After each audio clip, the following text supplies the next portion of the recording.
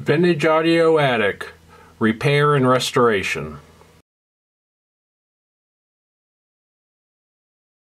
Here's a way to do a uh, kind of a quick test on any amplifier you may find out there uh, that you can plug in anyway. You'll have to power it up to do this, but it's a simple test and um, it kind of can give you a basic idea of the uh, amplifier's health. Kind of like taking your blood pressure or your respiratory rate. It's not the end all, of course, but um, it can give you a lot better idea than uh, just taking something home and hoping for the best. So uh, I'm going to show you how to check the DC offset in a piece of equipment. Um, first, you have to plug it in, obviously to turn it on, and we'll do that with this uh, Rotel uh, RA610. Um, the power power button's right here. Um, I saw it light up, so that's good. Um, in this particular unit, it was built in the early 1970s. It has no protection uh, built into it. It has no speaker relays. So in this unit's case, it's on and it's uh, ready to go. You don't hear that distinctive click. Um, it supports uh, two sets of speakers. And what you need to have is some sort of a multimeter. You know, it doesn't have to be anything uh, fancy, doesn't have to be anything special. Digital uh, is the way to go, though, much easier to read um, instead of an analog meter. But here's a fairly inexpensive uh, multimeter that you can get, I don't know, 30, 40 bucks. Um, and you don't even have to have one this nice. So, um, what we're going to do is we're going to check the DC voltage at the speaker outputs, which is called, a lot of times you'll hear them say the DC offset. So, we're going to check that real quick. We've powered it up.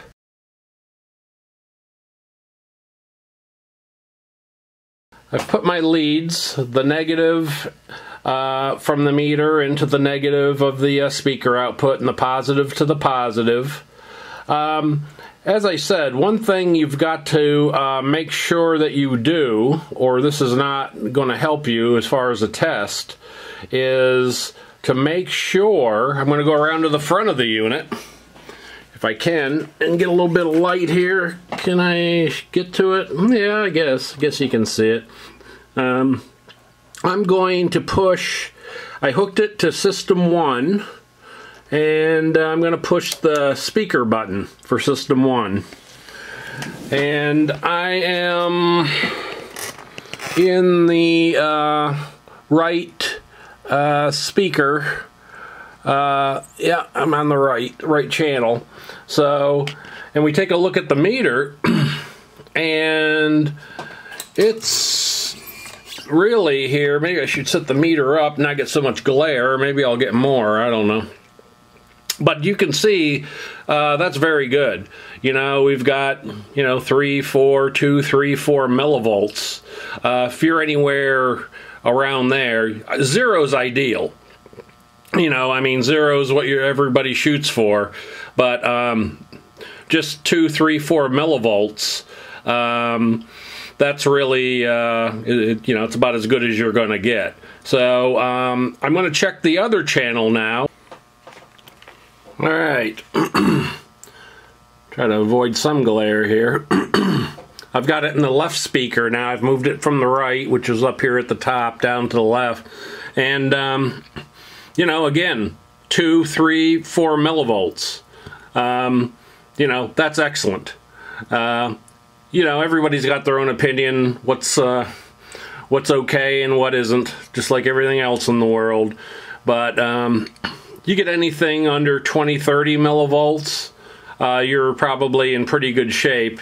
Now, I have to say, this isn't your typical amp off the street. I've already uh, refurbished it uh, several years ago. I've had this amp about 10 years, but, um, you know, I, I you're probably not going to get something that's that's this close, but you may. You may. And then the whole key is not to see 100 or above millivolts. Does that mean anything's broke? maybe not, but it certainly means it needs to at least be checked checked on and at, at, at least adjusted.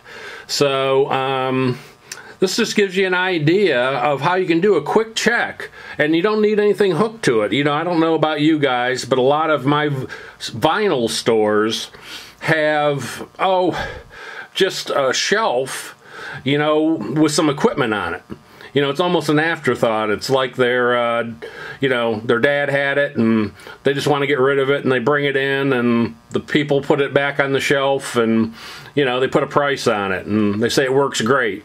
You know, I mean, they haven't even really checked it out at all, but they say that. But this gives you a chance and like I said, you don't need a pair of speakers, you don't need a CD player, you don't need anything to uh, do some basic tests to make sure that uh, the amp is at least uh, somewhat healthy.